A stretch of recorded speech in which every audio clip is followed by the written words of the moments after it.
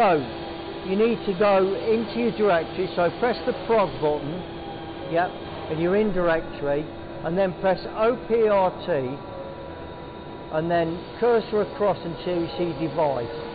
Press device, okay, and you want um, CNC memory, so you're in CNC memory, and then you're going to press um, cursor across till you see file output, yeah, file output, and then you tell it what you're going to call it.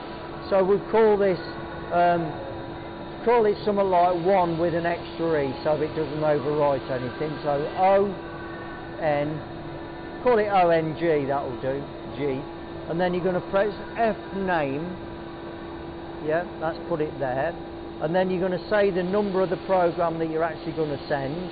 So type in a number one, this is from that list there, and say OSET. So that's now going to output that first program, that number one, to the memory stick when you press EX.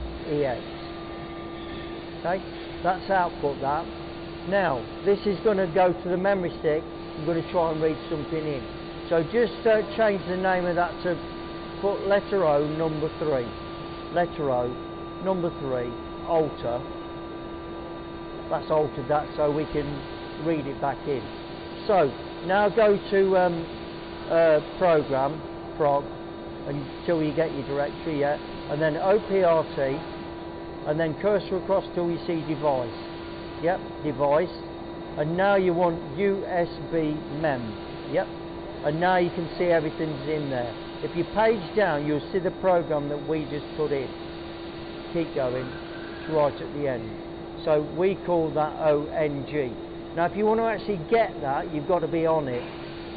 So now, cursor across till you see file input. Yeah, that's it there. File input. And now you can actually either write the name in or cursor across till you see fget. Yep, that's that. Then cursor across again. And then F name, we'll put that down where the name is. And then put a number one and then press OSET. Now that's ready to take that and put it in as program one. Execute. Yep. And now what you need to do is change your device again.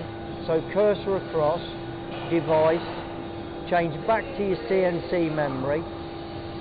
And now you can see that program one's gone in. Is that alright?